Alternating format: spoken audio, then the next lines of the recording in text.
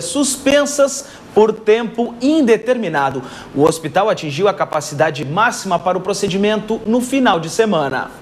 Os casos de pacientes com cirurgias marcadas ou com doenças de menor gravidade vão ficar para depois. O Cristo Redentor tem condições de realizar em torno de 10 cirurgias por dia. De acordo com a direção do hospital, a situação se agravou no final de semana. Em apenas 48 horas, o SAMU encaminhou para cá 60 pacientes para cirurgias com urgência. E a solução foi suspender as eletivas. Obrigatoriamente, segunda e terça teriam que ser suspensas as eletivas até que a gente consiga reprogramar esses pacientes. A gerente de internações diz que solicitou ao SAMU ainda no sábado a suspensão das transferências de pacientes para o hospital.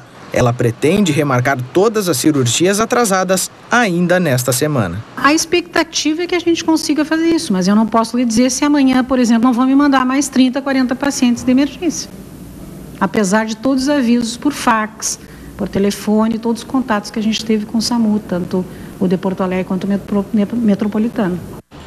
A Secretaria de Saúde de Porto Alegre preferiu não se manifestar sobre o caso.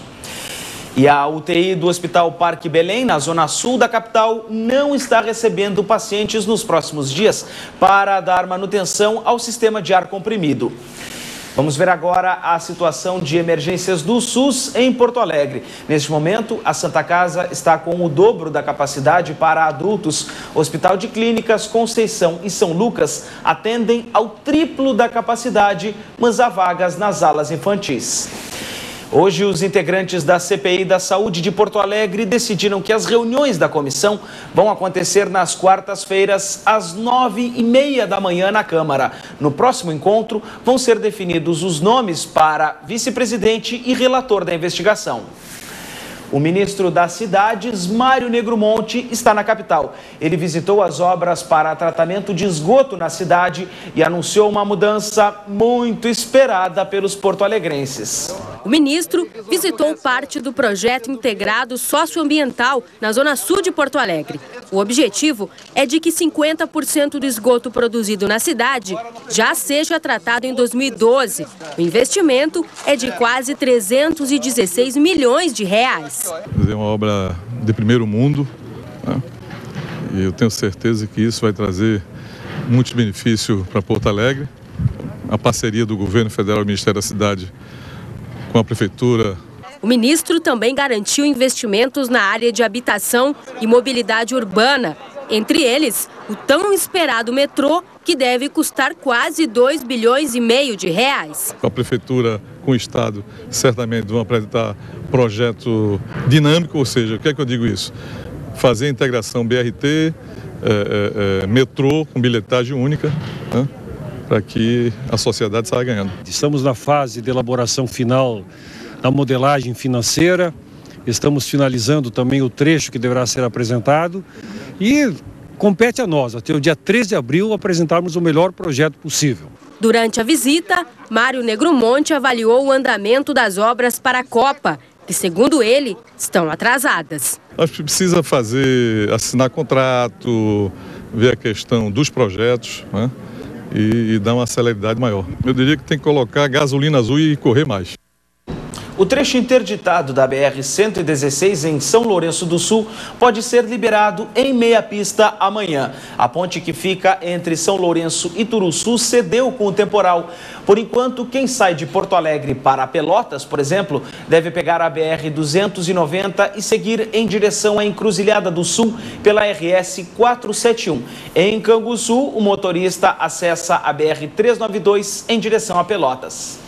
Durante anos, motoristas que passavam pelo bairro Bela Vista, em Porto Alegre, reclamavam da rótula na Avenida, na avenida Nilo Peçanha. Agora, a Prefeitura instalou sinaleiras no local. Por enquanto, os condutores aprovaram as mudanças. Os engarrafamentos no local eram constantes antes da retirada da rótula. Quase duas semanas, a rótula que existia aqui foi substituída por sinaleiras, uma exigência antiga de moradores e motoristas que passam aqui pelo bairro e que já melhorou o fluxo de veículos no local. Melhorou bastante, principalmente para mim, que eu moro aqui em cima. Essa saída aqui era um terror, era... demorava muito para a gente conseguir acessar a rótula. Ficou ótimo. Foi a melhor coisa que fizeram. Depois que não vem para cá, trancaram aqui, então foi a melhor coisa, não acabou o engarrafamento. Agora flui o trânsito, é, tu espera só o tempo da sinaleira abrir, né? Antes tu ficava às vezes 10 minutos para conseguir atravessar a rótula, né? Então tá bem melhor. Tá bem melhor. A EPTC afirma que a retirada da rótula foi necessária para reordenar o trânsito no bairro. O grande trunfo dessa mudança ali é, não é nem mesmo a passagem dos veículos, estar passando com menor fila, menor tempo. Que se conseguiu ali é o que não se tinha. Aquele pedestre que passava ali, que estava no meio da rótula ali, ou próximo à rótula, não tinha em nenhum momento a sua passagem garantida com segurança. Hoje a gente tem os semáforos ali que para todos os lados garante no seu tempo e no seu momento exato a travessia do pedestre. A polícia procura o motorista que atropelou dois ciclistas ontem à tarde na Avenida Assis Brasil, em Porto Alegre. Eles sofreram escoriações e já foram liberados pelo hospital. O veículo foi encontrado hoje. O Fiat Tempra branco foi abandonado no bairro Sarandi. O automóvel estava com o painel, farol e para-brisas quebrados. O proprietário já foi localizado, mas disse que vendeu o Tempra a uma revendedora há seis meses. Amanhã o abastecimento de água vai ser suspenso em parte do bairro Ípica de Porto Alegre a partir das 8 da manhã. O serviço deve ser normalizado à noite. Se chover, a manutenção vai ser adiada. A seguir, nas alturas, Leandro Damião deve ser o trunfo do Inter na Bolívia. A agência profissional RH oferece cursos básicos de qualificação. É necessário apresentar cópia da carteira de identidade, CPF e comprovante de residência. A Performance Trabalho Temporário oferece vagas de emprego em Porto Alegre e no Vale dos Sinos. Interessados devem enviar o currículo por e-mail ou entrar em contato por telefone.